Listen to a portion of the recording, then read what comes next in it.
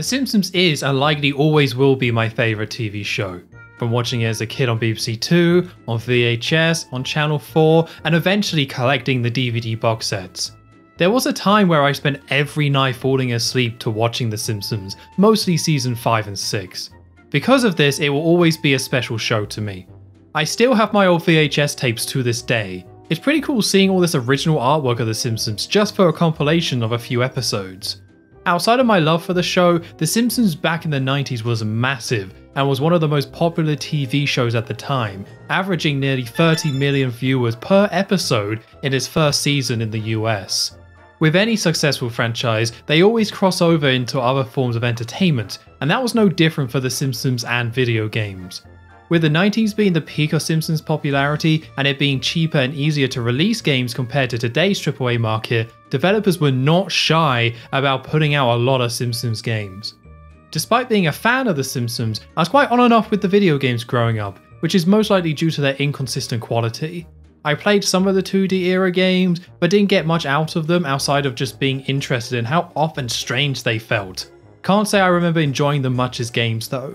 During the 3D era, I had The Simpsons Road Rage for the GameCube, and of course put a lot of time into what many would call the best Simpsons game, The Simpsons Hit and Run.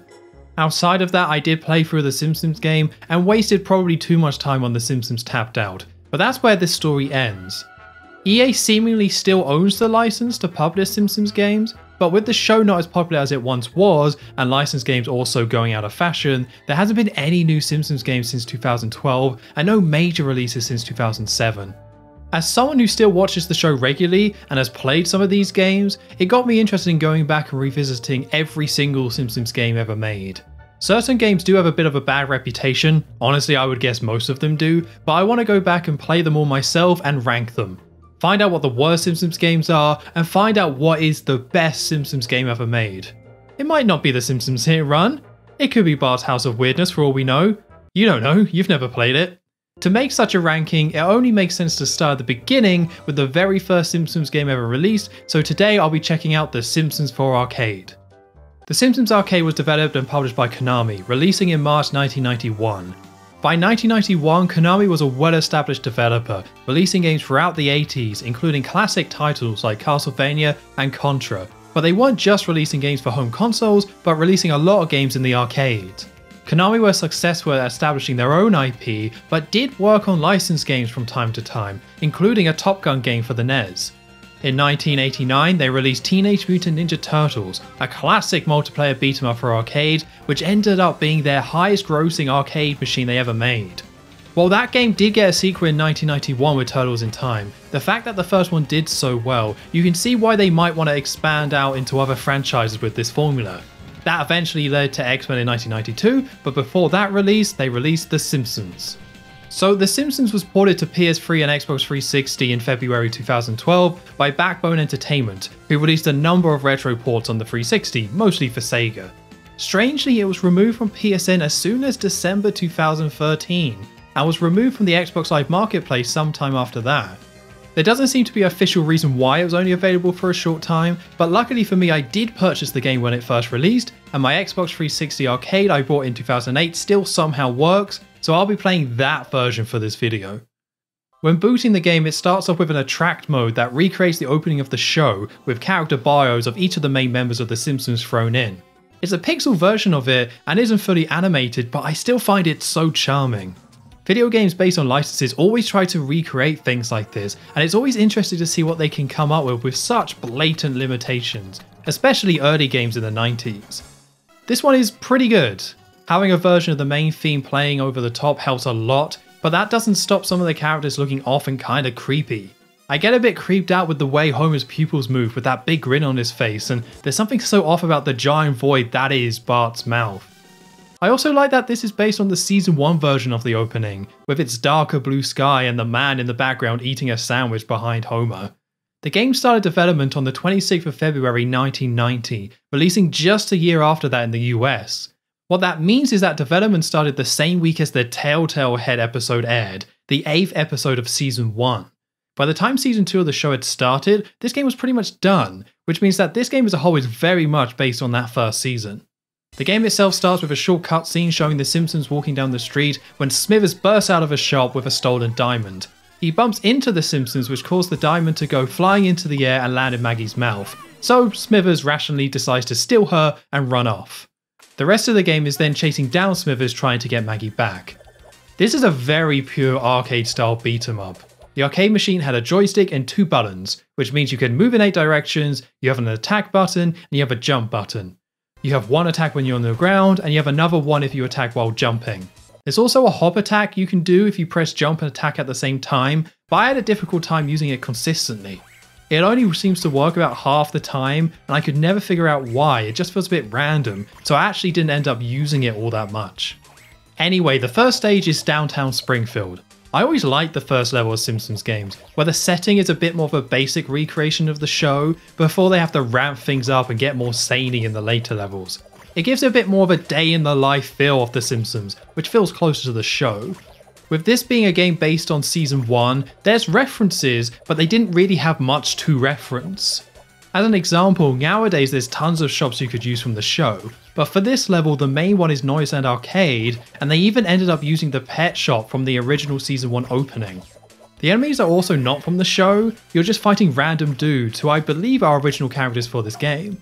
Add to that things like Principal Skinner is here and just wearing a brown jacket rather than his iconic blue suit, and it gives this game almost a bootleg vibe, but I mean that in the best way possible.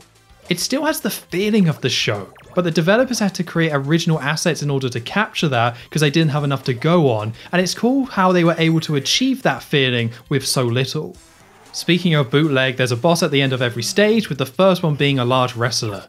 Don't expect any of these bosses to make sense. The goal here is to chase Smithers down, but they throw whatever characters they can regardless of whether it makes sense or not. I didn't use much strategy for beating this boss, it appears if you want to do it properly, you have to dodge his attacks, wait for his trousers to fall down, and then go in for the kill. But as it's just the first stage and the first boss, I just attacked him. After enough hits, he goes down, Homer does this very weird looking dance, and we go back to chasing Smithers as he gets away in a Krusty balloon. This is when you reach the first bonus stage, which has you mash buttons as fast as you can to try and blow up your balloon against a load of random AIs. The balloon being the head of the character that you're playing as, which you're going to use to chase after Smithers. It's creepy, but at least it's not as creepy as the Bart Simpson's Macy's Day Parade balloon. I don't know how a giant version of this flying through the air did not give kids nightmares. So after blowing up your balloon, you take that to the next stage, Krusty Land. Even in the first stage, this game did have a bit of a strange vibe, but Krusty Land is where it really starts to commit to this strangeness. It starts off with you fighting Krusty the Clown, only it's not him, but a guy dressed as him. There's a creepy Kearney looking baby in the background, which is horrible. You fight middle aged men in spinning teacups. There's a large pink gorilla that looks like Homer that can punch you, and eventually you end up fighting a load of large white bunnies. The bunnies are references to Matt Groening's comic, Life is Hell. Actually, while we're here, we might as well start a Life is Hell reference counter. I have a feeling we're going to be seeing these rabbits a lot as we rank these games. All this weirdness builds up to the boss of the stage, a giant Krusty ball with arms. With this being an arcade game, you just kind of roll with a lot of this weirdness, but don't worry, it's gonna get stranger. After defeating the Krusty Ball, it smashes into the ground, causing you and Smithers to fall into a cemetery for some reason. You're straight back to beating people up, only this time you're fighting a lot of zombies. Zombies do have different moves, they try and leap over you, but it doesn't really change the way you fight them. You go up to them and you mash buttons. Each stage does introduce a new enemy type, but really most of the gameplay just comes down to mashing buttons. I was playing in free play mode that's available as part of the 360 port, which means I had unlimited lives and continues, and the gameplay resulted in mashing buttons, eventually die, respawn, mash more buttons, repeat. I wouldn't say it's a bad time playing this. There's enough charm to the game to carry you through it, but this is an arcade beat 'em up through and through. It's simple enough for anyone to play and have a go, but it's designed for you to put a lot of quarters into it in order to actually beat it. I didn't grow up with many beat 'em ups, Streets of Rage 2 is the main one I played on the Mega Drive when I was younger, so the nostalgia for this genre really isn't there for me. Doesn't mean I dislike them, but they can sometimes feel too mindless to play when going back and checking them out. Fighting a lot of enemies can be cool though, and the game moves at a fast pace which is good, but that loop of mashing, respawn, mashing, respawn can get a bit tiring. It doesn't help that this game suffers from the same problem as a lot of beat 'em ups, and that's you go and attack an enemy but just miss because you weren't quite on the same plane as them. It's not a deal breaker, but this sort of thing can break the flow of gameplay, and when you're just trying to hit a certain enemies and you're missing when you're a little bit off, it's not great. Anyway, you get to the end of the cemetery only to find Krusty's grave for some reason. Actually, with his pacemaker and lifestyle, maybe it's not that shocking that this happened. A load of ghosts in chains then show up, forcing you to jump into it.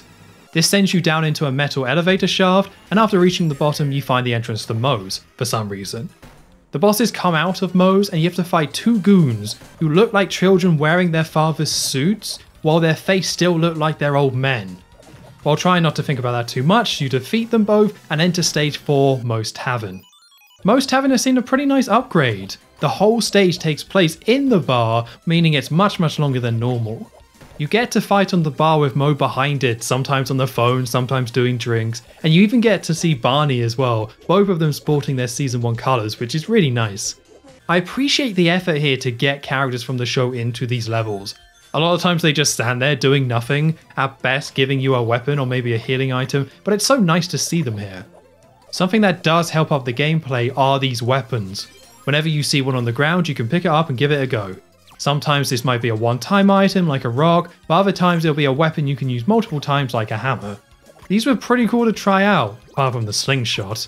With the slingshot, it took a load of time just to even line up your shots to make sure you're even on the same plane as enemies, meaning it felt easier just to go up and punch them instead.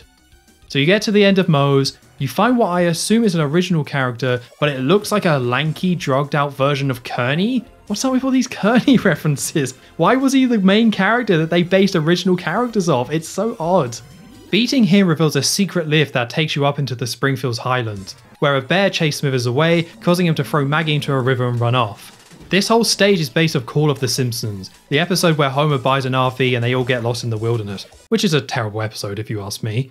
It's a decent stage. I like the Bigfoots. Big feet? Bigfoots? Big feet? Bigfoots. Yeah, I like the Bigfoots that have the same moveset as Homer, that's a nice touch, and you can also use Blinky the fish as a weapon. Wait, Blinky? I thought he first appeared in season 2 when Burns spat him out. Oh, never mind, there he is in the third episode, Homer's Odyssey. Neat. Back to the game, I complained a bit about the gameplay before, largely with it being a basic beat 'em up rooted in its arcade design, but people enjoy this game overall, right? So why is that?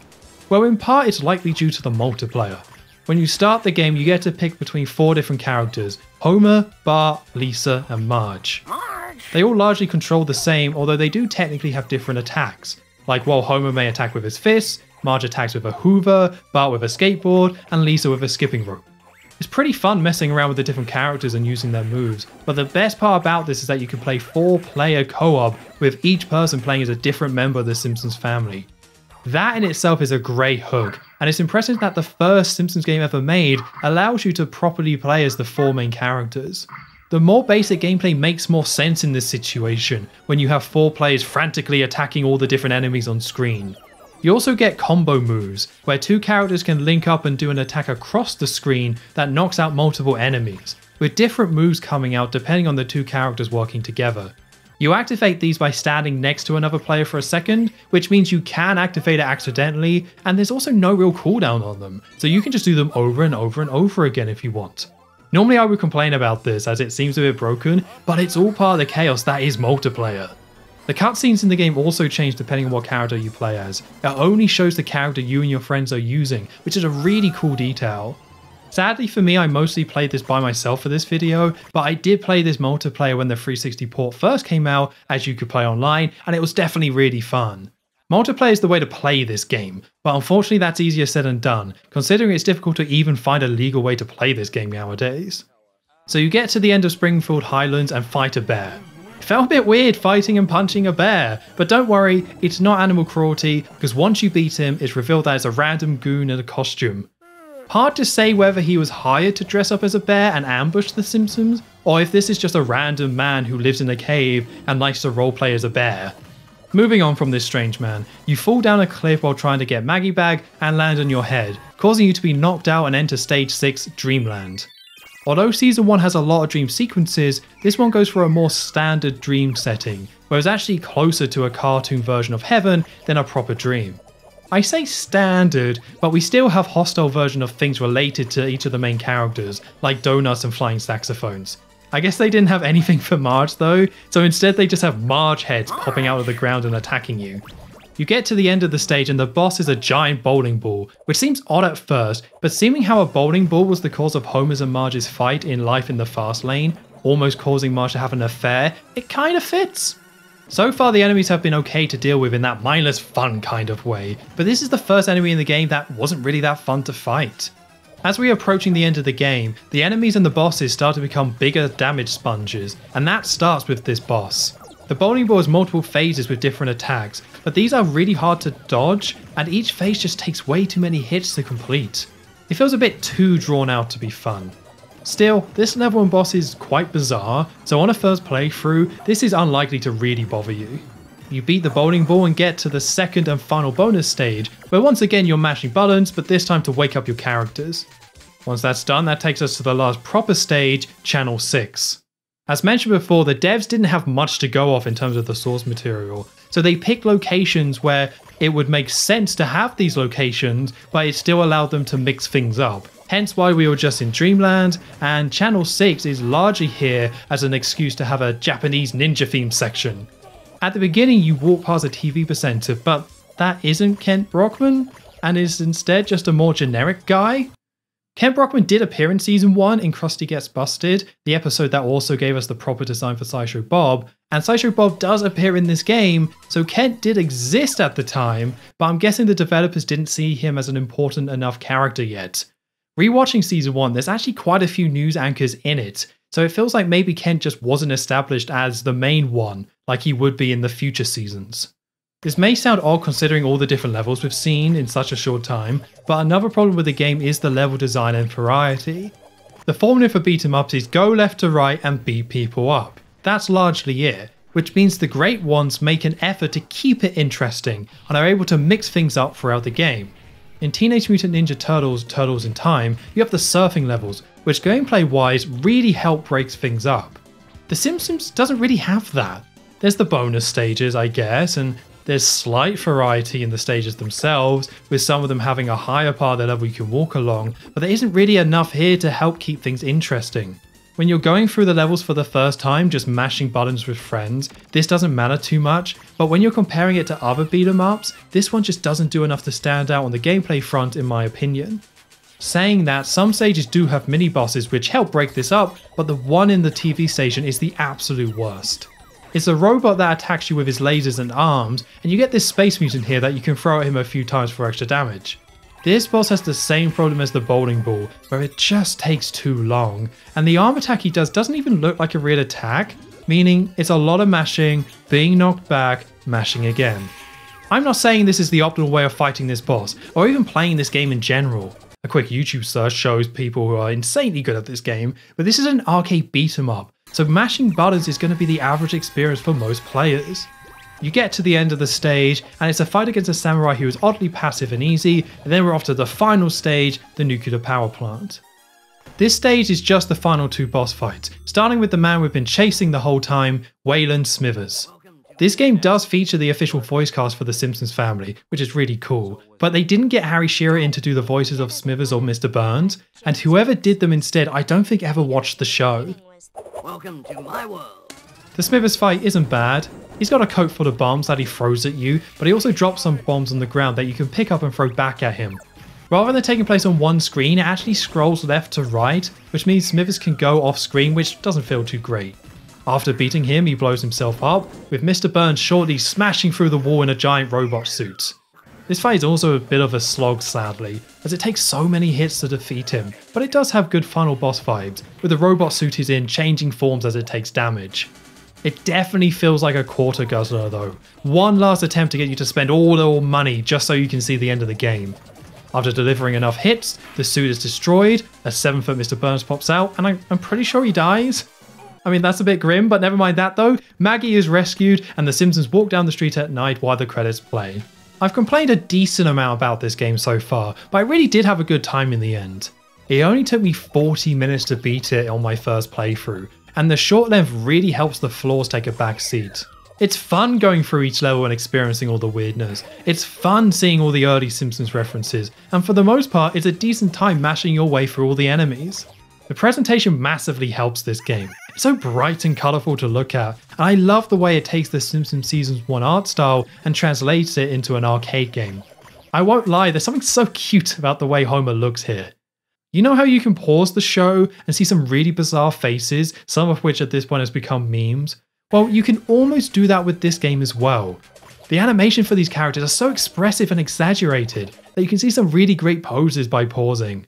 I love the ones for Marge, she looks so manic and crazy compared to her normal self in the show. Also, when she gets shocked, it shows her having ears, meaning I guess she's a rabbit person? Uh, not one I want to think about too much. The 360 port also includes the Japanese version of the game.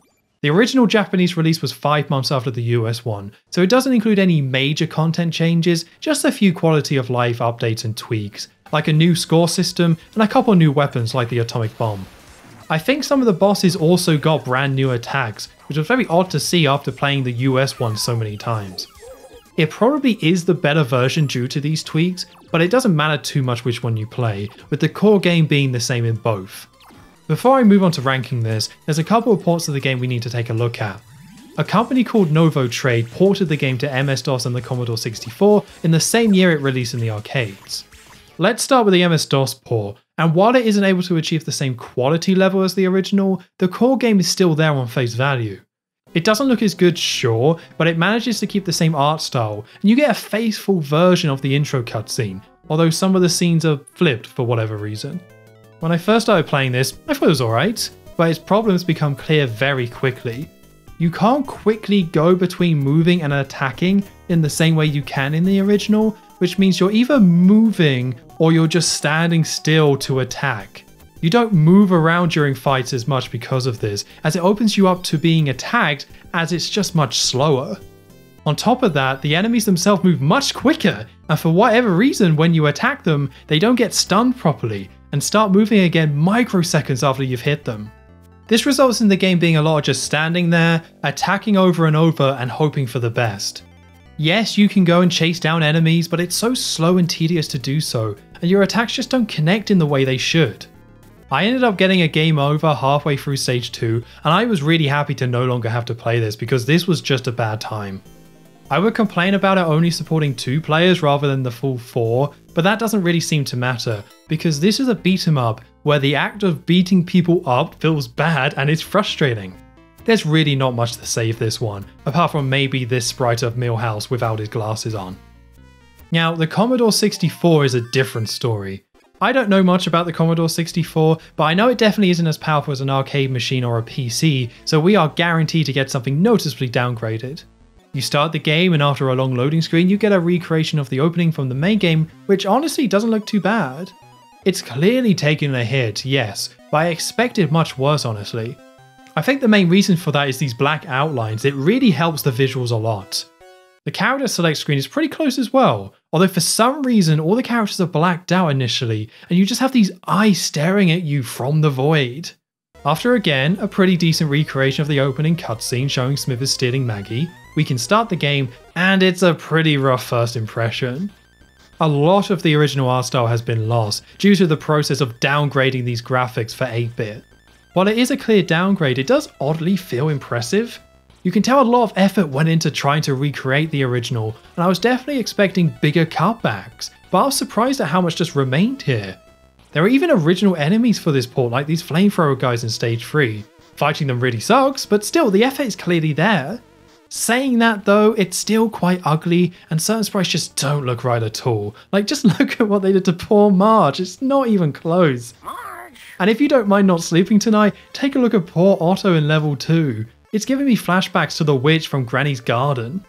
Ultimately, while I'm impressed of how much of the original is here, the port is let down by how it plays. You can attack enemies, jump, and do the jump attack as before, but as this is the Commodore 64, it only had one button, which means you press the button to attack and have to hold the button to jump, which took me far too long to figure out.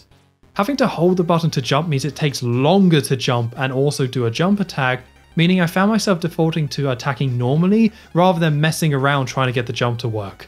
It doesn't help that enemies can interrupt your jump quite easily as well, making it riskier to do.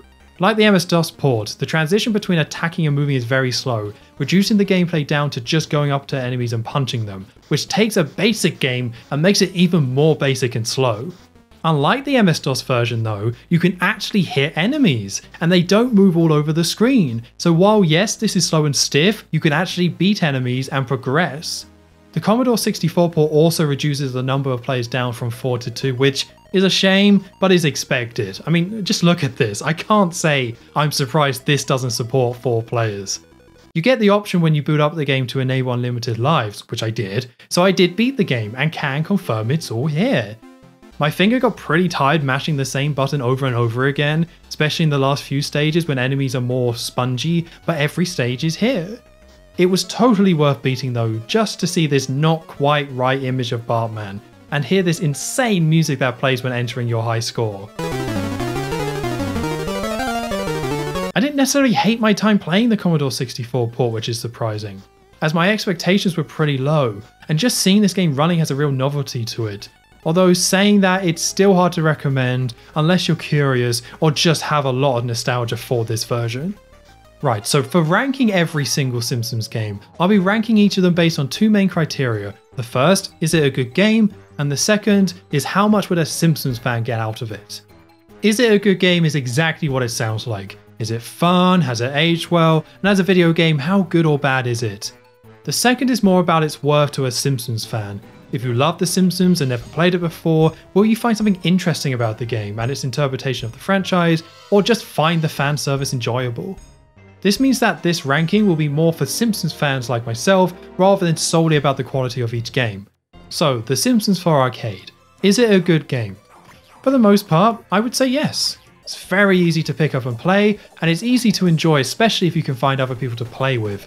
The presentation really lifts the game up, and its short length benefits it, allowing you to have fun for an hour or so without it outstaying its welcome. Outside of that, unfortunately, I do think it falls short in a few areas. It has the usual trappings of beat 'em ups of the time, with repetitive gameplay and quite a frustrating core loop. And when compared to the best of the genre, the variety just isn't there. Now, that doesn't make it bad, it's still pretty good, but as a game, you're probably better off playing something like Turtles in Time or Streets of Rage. On to the second point, for a Simpsons fan, this is absolutely worth playing. I love the graphics, and it captures the show in a unique way that I don't think you'll find anywhere else. A very video game version of Season 1. It's cool seeing all the Season 1 references. I didn't even mention things like Howard poking his head out of the arcade in level 1, which is a reference I didn't even catch on my first playthrough. Overall, I do think this is a good game, but I think the fact that it's difficult to find and play legally means people think a bit more fondly of it, and it's been given an almost cult status because of its scarcity. Having it available in arcades at launch, only to have it disappear and then come back 20 years later, just for it to disappear in less than 2 years again, is a real shame. If you do want to play it, Arcade 1UP did a re release back in 2021 for arcade, so if you're lucky enough to live near an arcade which has it, it's definitely worth checking out. As this is the first game we're looking at for this list, it of course goes at number 1. I don't see it staying at that spot, but I think it should stay relatively high on the list. Finally, as the MS-DOS and the Commodore 64 versions were so different compared to the arcade original and 360 port, I'm going to rank those separately. For this list, if a game is different enough either in terms of design or quality, I'm going to separate it out, so this can be a more definitive ranking. Each version of these games is an official Simpsons release, so it feels only fair to rank them separately, for better or for worse. The MS-DOS version is just a bad game. They broke the core gameplay of beating up bad guys with awkward movement and attacking, and the enemies are way too fast, and it makes it all just so horrible to play. For a Simpsons fan, it's still largely the same as the original game, it just looks worse and plays worse, so I don't think there's much here to really check out and enjoy that you wouldn't just get from the arcade original.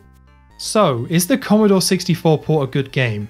Sadly, I have to say no for that as well. It's very sluggish and slow, the loading times are long, and a lot of the charm of the arcade original is lost. It's still oddly impressive as a port for the Commodore 64, and you can work your way through it, but ultimately it's just not all that fun to play nowadays.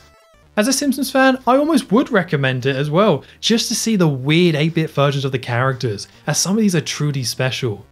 This means I'm ranking the Commodore 64 version in second under the original and putting the MS-DOS version in third place. there's simply more value to the Commodore 64 port compared to the MS-DOS one, and really, it's the one I would prefer to play, despite it on paper being technically much, much worse. So that's the first three games put on the list. Thank you very much for watching. If you disagree with any of this, please let me know in the comments, and join me next time where I'll be ranking Bart versus the Space Mutants. That came out on more platforms than I'm willing to list out here.